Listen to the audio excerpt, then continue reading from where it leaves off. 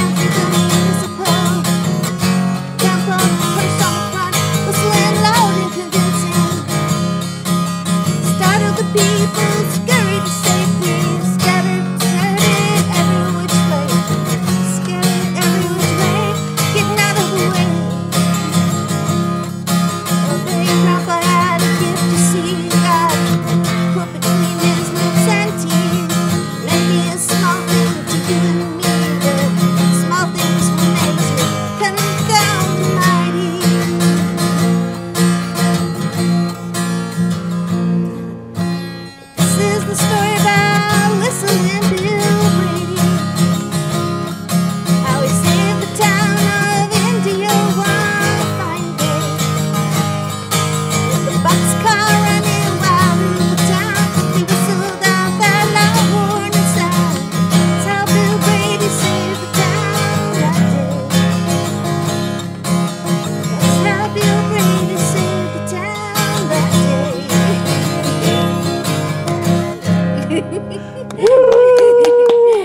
All right.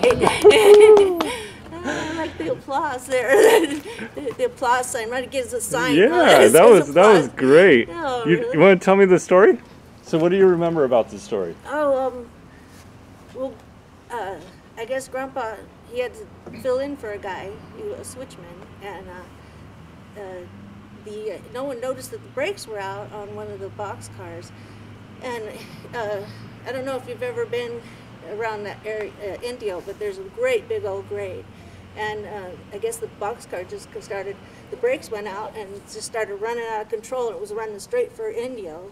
And um, if um, instead of just jumping off like most people would have done, Bill Brady got up in the front and started whistling. I guess he had this really loud whistle. He started whistling really loud and getting everybody to get out of the way before that uh, the train crashed and saved a whole bunch of people, I guess, and saved the whole town basically. so pretty cool, pretty brave of him. Wow, Yeah. that's awesome.